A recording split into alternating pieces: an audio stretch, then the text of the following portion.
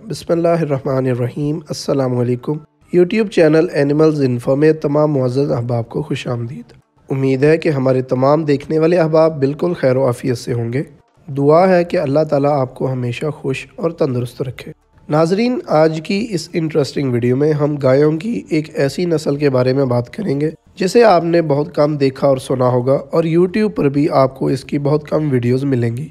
दूध हासिल करने के लिए तैयार की गई इस नस्ल को ना सिर्फ़ दूध बल्कि गोश्त के लिए भी वसी पैमाने पर इस्तेमाल किया जाता है।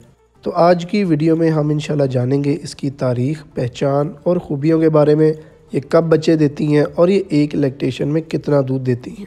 तो आइए वीडियो को शुरू करते हैं और वीडियो को शुरू से आखिर तक लाजमी देखिएगा और अगर वीडियो पसंद आए तो लाइक भी ज़रूर कीजिएगा, शुक्रिया।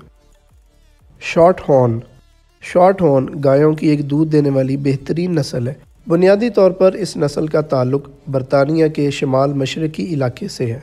इस ब्रीड को सबसे पहले 18वीं सदी में तैयार किया गया था। शॉर्ट हॉर्न ब्रीड को तैयार करने का बुनियादी मकसद था दूध हासिल करना।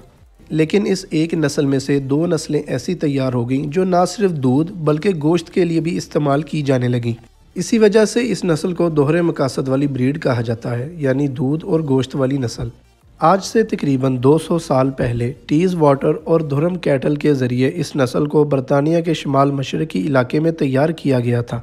सन उन्नीस सौ अठावन में इस नस्ल के बैलों को सिर्फ़ ख़ास तवज्जो इसलिए दी गई ताकि इन्हें सिर्फ़ गोश्त के लिए पाला जाए।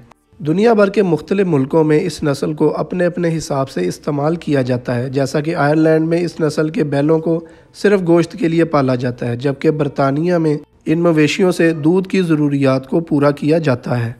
दुनिया भर के ममालिक में इस नस्ल को इस्तेमाल किया जाता है और यहाँ तक कि इस नस्ल से 40 मुख्तलिफ़ नस्लें तैयार की जा चुकी हैं। दोस्तों, ये तो थी इस गाय की मुख्तर सी हिस्ट्री। अब बात करते हैं इसकी पहचान की। शॉर्ट हॉर्न नस्ल की गाय ज़्यादातर लाल और सफ़ेद रंग पर ही मुश्तमिल होती है। लाल और सफ़ेद रंगत के साथ साथ कुछ मवेशी गहरे ब्राउन रंग के साथ हल्की सी काली रंगत में भी पाए जाते हैं। ये आमतौर पर प्योर सफ़ेद रंगत में भी देखे जा सकते हैं। शॉर्ट हॉर्न गाय की कमर ऊपर से बिल्कुल सीधी, टांगे लंबी, पूंछ और खुर छोटे, जबकि पूंछ का आखिरी हिस्सा ज़्यादातर सफ़ेद रंगत का होता है। इन मवेशियों के सींग होते भी हैं और नहीं भी। होलस्टीन गाय साइज़ में इनसे बड़ी होती है, जबकि शॉर्ट हॉर्न दरमियाने साइज़ के मवेशी होते हैं। फीमेल शॉर्ट हॉर्न की हाइट 140 सेंटीमीटर तक होती है, जबकि इनका वज़न मेचोरिटी में 640 किलोग्राम से लेकर 680 किलोग्राम तक होता है। तो नाजरीन, अब बात करते हैं इनके दूध की। यह मवेशी एक दिन में 16 से 21 किलोग्राम तक दूध देने की सलाहियत रखते हैं। इस नस्ल के कुछ मवेशी ऐसे भी देखे गए हैं जिनके पूरे साइकिल का दूध 7000 लीटर्स तक रिकॉर्ड किया गया है। इनके दूध में तीन इशारिया आठ परसेंट तक बटर फैट, जबकि तीन इशारिया तीन परसेंट तक प्रोटीन पाया जाता है। बटर फैट और प्रोटीन के साथ साथ इनके दूध में होलस्टीन और एयर शायर गाय की तरह ए वन और ए टू बी के सिन भी पाया जाता है।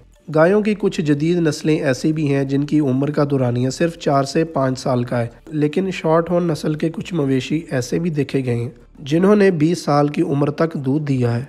ये मवेशी आमतौर पर 305 दिनों तक दूध देते हैं और इनका पैदा हुआ बच्चा 23 से 24 माह की उम्र को पहुंचकर ब्रीडिंग के लिए तैयार हो जाता है। नए पैदा होने वाले बच्चे का वज़न आमतौर पर अठतीस से 40 किलोग्राम्स के दरमियान होता है। चूँकि इस नस्ल का ताल्लुक एशियन कंट्रीज़ से नहीं है, इसीलिए यह नस्ल ठंडे मौसम में ज़्यादा बेहतर तरीके से परफॉर्म करती है बनस्बत गर्म मौसम के।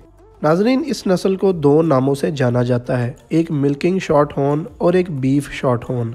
Milking breed के बारे में तो आप जान चुके हैं, अब बात करते हैं इसकी बीफ ब्रीड की। बीफ शॉर्ट हॉर्न का ढांचा छोटे साइज़ का होता है। बैलों की दूसरी नस्लों के मुकाबले में ये नस्ल ज़्यादा जल्दी मेचोरिटी की एज में पहुँच जाती है। एक मेच्योर बुल की हाइट 155 सेंटीमीटर तक होती है, जबकि उसका वज़न 900 किलोग्राम तक होता है। इस नस्ल के बैल काफ़ी गुस्सैल होते हैं और इन्हें छेड़ने पर इन्हें बहुत जल्द गुस्सा आ जाता है। कुछ रिपोर्ट्स के मुताबिक कहा जाता है कि इन्हें तजारती रेवड़ों में ब्रीडिंग के लिए सालों तक इस्तेमाल किया जाता है, यहाँ तक कि आठ से दस साल तक के लिए। इस नस्ल के बैल काफ़ी फर्टाइल होते हैं और बच्चों के मामले में इनकी प्रोडक्शन काफ़ी अच्छी होती है। इसी वजह से फार्मर्स गायों के रेवड़ों में इन्हें छोड़ना ज़्यादा पसंद करते हैं। इनके गोश्त में इंट्रामस्कुलर फैट ज़्यादा मकदार में पाया जाता है जिसकी वजह से इनका गोश्त जूसी फ्लेवरेबल और काफ़ी मज़ेदार होता है। ये नस्ल UK, USA, Canada, New Zealand और ऑस्ट्रेलिया जैसे बड़े ममालिक में इस नस्ल की फ़ार्मिंग काफ़ी ज़ौक और शौक से की जाती है ताकि इन मुल्कों में दूध और गोश्त की ज़रूरियात को पूरा किया जा सके। तो ये थी नाजरीन कुछ मुख्तर मालूम दुनिया में पाई जाने वाली एक बेहतरीन नस्ल शॉर्ट हॉर्न के बारे में। उम्मीद करता हूँ कि आपको ये आज की वीडियो ज़रूर पसंद आई होगी। ऐसी वीडियोस बनाने में काफ़ी मेहनत दरकार होती है तो इसीलिए आपसे गुजारिश होती है कि वीडियो को आखिर तक देखा करें और एक दफ़ा लाइक ज़रूर कर दिया करें। अगर आप ऐसी वीडियोस को देखना पसंद करते हैं तो हमारे चैनल को ज़रूर सब्सक्राइब कीजिएगा। इन आपसे मुलाकात होगी नेक्स्ट वीडियो में। तब तक के लिए अपने मेज़बान को दीजिए इजाज़त।